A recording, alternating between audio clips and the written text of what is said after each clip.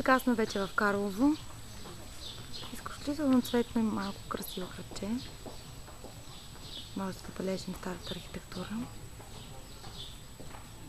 И уникалната клетка към планината.